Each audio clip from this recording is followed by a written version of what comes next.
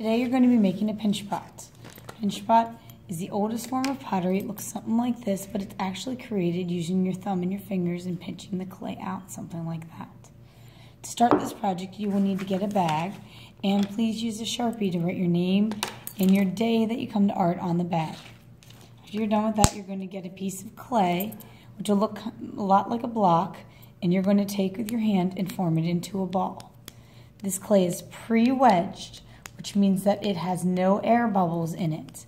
So when it goes into our kiln, which is the big oven we use to fire clay, it won't explode. As air bubbles, air tends to expand when it gets hotter, the air bubbles will explode in the kiln if you have any.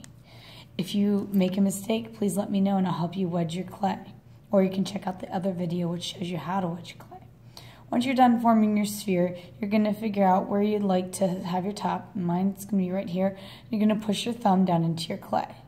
You don't want to go the entire way through, and if you'd like, you can use a pencil, or in this case, I'm using the Sharpie, to see how deep you've made your indentation. That looks pretty good. I want about a half an inch at the bottom here, which is what I have. Then I'm going to put my thumb back in my pot, and from the bottom, squeezing with my fingers here, I'm going to pull the clay up into a circle. You'll start to see this kind of lip of clay that I've got right here. So I'm pulling that up, and that's forming the bottom of my pinch pot. And then what I'm going to do is just keep going, I'm making another layer. So I started down here, now my fingers are pinching here, and then I'm going to pinch up here to start making the entire pot. I am currently making the top of my pot, the bowl if you will, so right here is where what I'm making.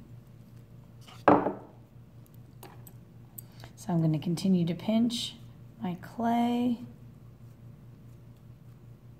until I have a very uniform thickness, which means that some areas aren't super thin while other areas are super thick um, bowl. I would like it to all be the same thickness. And you want to keep your thumb in your pot. The reason for that is all of your fingers in your pot are the best way to make yourself a plate because there's too many to fit into that small space. And you'll end up with a flattened pancake looking plate. So I'm forming that. I've got something like that. So far it's not looking too bad. Now for the next step, what you might do is use something called a clay rib. We have several of these. Some of them are made out of wood, as these two are and some of them are made out of plastic, like these two. Now for my rib, what I'm going to use it for is to smooth out my pot. Notice I put my fingers on the inside of my pot, and I use my rib to kind of smooth everything out.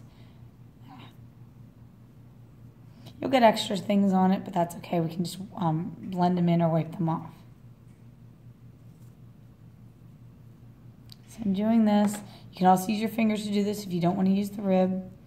And I'm smoothing out my pot until I have it the exact way that I'd like to have it. And that's how you make your pinch pot bowl, which is the top part of your actual pinch pot.